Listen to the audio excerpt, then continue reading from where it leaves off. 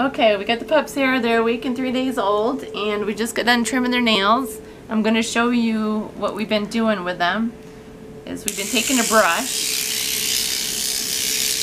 and kind of going over their nails and their paws here, getting used to the vibration, the sound.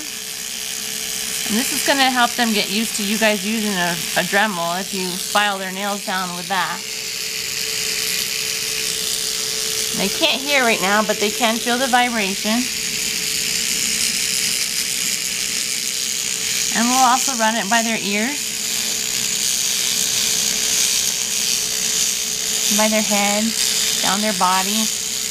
You know, if you never know, you might have to take them to the vet for something. They may have to use a, a shaver on them.